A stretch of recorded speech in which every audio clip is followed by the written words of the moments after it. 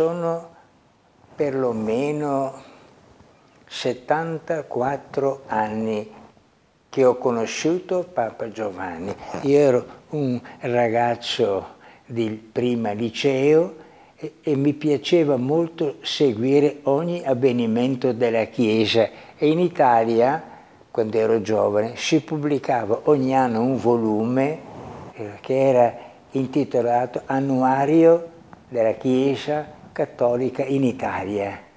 C'era naturalmente prima di tutto il Papa, la sua curia romana, le varie istituzioni, il nome di tutte le diocesi italiane. E anche allora, nonostante che andiamo indietro di tanti anni, si usava mettere anche delle piccole fotografie. Nel 1932 Papa Giovanni era già da sei anni in Bulgaria, rappresentante del Papa, ma si chiamava col titolo di visitatore apostolico. Era già vescovo, ma visitatore apostolico. Dopo eh, sei anni la Santa Sede ha istituito il titolo di delegato apostolico. Sapete che nella cosiddetta diplomazia vaticana ci sono due categorie di rappresentanti, o c'erano adesso un po' meno, ma due categorie. Uno i delegati apostolici e quelli avevano i rapporti con l'episcopato, ma non con i governi. Il nunzio apostolico invece aveva rapporti anche con i governi, come attualmente. Il Monsignore Angelo Giuseppe Roncalli, fino al 32 visitatore apostolico, dal 33 si chiama delegato apostolico, va bene. L'annuario del, 30, del 33, con la data del 1900, porta tutte le notizie che riguardano il 1932 e c'è scritto il Santo Padre ha istituito la delegazione apostolica in Bulgaria, affidandola all'attuale visitatore arcivescovo Angelo Giuseppe Roncalli. Io leggevo per curiosità queste cose, vedo questa notizia con questo piccolo ritrattino, un ritratto, un tondo, un tondo, così, mi colpisce molto quel volto, mi colpiscono gli occhi, il sorriso sulle labbra, una bella faccia tonda, un aspetto bello, mi, mi è piaciuto, è bello, è bello. E mi si è impresso dentro qui. Da allora quella piccola immagine mi ha accompagnato fino ad oggi. Non sapevo che cosa la provvidenza, si capisce, avrebbe operato, però sempre ero curioso quando, si, dopo lui, dopo una, due anni dopo, dalla Bulgaria, passò in Turchia e Grecia. Poi sapete, vero, dalla Turchia e Grecia, lui passò a Parigi, dopo da Parigi venne patriarca della mia diocesi che è il patriarcato di Venezia.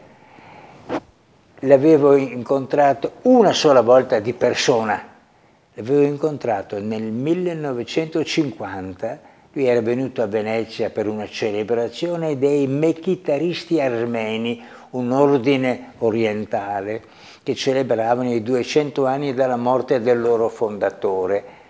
Io facevo il piccolo giornalista diocesano e andai a portargli i saluti del mio vescovo, il patriarca di Venezia, e anche a domandargli alcune cose. Appena lo vidi, dissi subito, questo è proprio quello che ho visto nel ritrattino quando avevo 16 anni, 17, 18, ero giovane, no? cioè, e parlando a un certo momento, visto che lui era così amabile, mi è venuto di dirgli, eccellenza, io ho incontrato lei nel 1932. Lui fa, a me? Ma dove? Allora gli ho detto, nel libro, l'annuario cattolico del 1933. Sì, allora lui ha sorriso, abbiamo parlato di varie cose. Quando lui ha lasciato Venezia per tornare a Parigi, io feci un articolo, un incontro con il nunzio apostolico a Parigi. Poi ho detto, glielo mando? No, direttamente a lui no. Ho scritto alla segreteria, all'eccellentissima segreteria del Nunzio a Parigi. Dico, per conoscenza, se loro credono di farlo vedere al Nunzio, mando questo. E pochi giorni dopo mi ha risposto non il segretario, ma lui di persona, chiamandomi addirittura per nome, caro Don Loris. È stata una sorpresa per me. Non avevo mai avvicinato un nunzio, un personaggio. Chi vive alla periferia vede tutte le cose come ingrandite.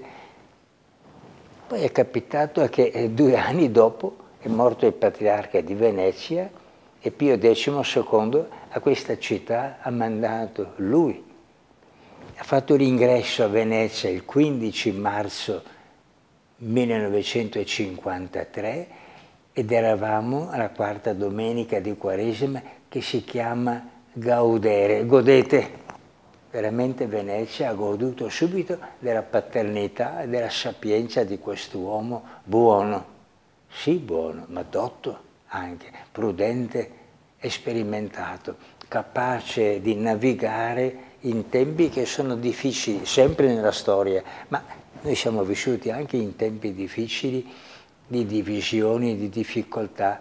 Lui ha portato, direi, la bonaccia. Venezia è una città di mare, nelle acque tempestose delle contrarietà anche tra di noi, ha portato la bonaccia evangelica, cioè la bontà, l'amore.